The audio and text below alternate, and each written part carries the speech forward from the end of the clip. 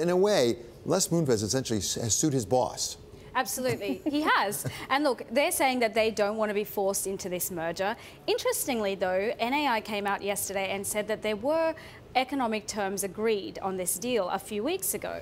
So that's interesting because they've apparently agreed these terms and now they've come out and said, actually, we don't want to do the deal. So interesting, Shari Redstone has come out and said that she thinks it's because she raised some concerns yeah. about a director who see, she said was bullying and intimidating towards her. This is defend one director. Is that, but the interesting thing to me is it's all going to get decided right quick. I mean, this is Chancery Court in Delaware. They go in next week, and the court's going to rule one way or the other. It's yeah. a temporary restraining order they're seeking. Exactly. And so tomorrow there's a hearing, um, and then they come back on Thursday as well.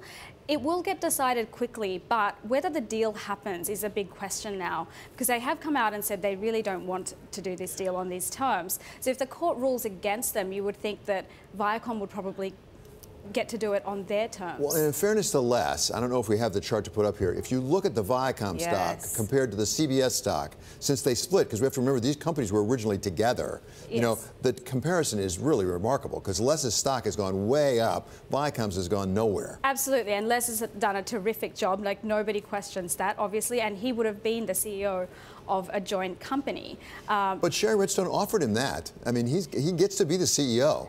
Yeah, he would have got to be the CEO, but he still doesn't think, they don't think that it's in the best interest of all of their shareholders. And what it's going to come down to in court is whether they can issue this extra additional stock to be able to dilute NAI's. Uh, yeah, to be uh, clear, NAI power. has the overwhelming voting control, but there's two yes. classes of stock. They don't have the overwhelming um, economic control. I think they only have like 20% of the yeah, economic so interest. Exactly. So what they're trying to do is reduce their voting control from 80% to about 17%. However, NAI says that the clause that they're referring to, uh, that they've misinterpreted it, and actually you can only uh, issue like-for-like stock. So in the dividend, they can only issue NAI more A stock and the other shareholders more B stock. So it wouldn't yeah. actually change the dynamics. Yeah, simply put, what CBS is proposing is we're just going to give as a dividend shares to the people yeah. who don't have the voting to give them a lot more votes. Exactly. what they're doing. At the same time, uh, to, to personalize this, doesn't Les win either way because uh, under his contract, he gets paid $150 million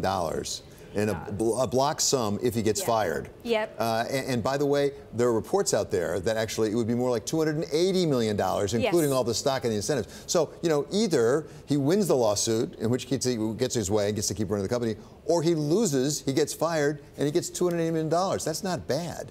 It's not bad for him, but what about the shareholders? And that's the question, because as, as you say, the share prices come down since these discussions started. This has been going on for uh, several years now. And Les had thought that maybe he could do a deal with a Verizon. I mean, Verizon came and had talked about perhaps merging. And one of the allegations is that Shari Redstone actually told Verizon not to do it. Exactly. So, but she says, my sources on her side are saying that she didn't say don't do it. Yeah. She just said, let's just do this first. Because if she were to sell either CBS or Viacom out of NAI, then NAI would be, uh, would have to bear a massive tax burden, which is what they don't want. So what they would want to do, well, rather do is merge those two and then maybe sell NAI, NAI so uh, altogether. A telenovela in, a telenovela, broadcasting, a CBS daytime show.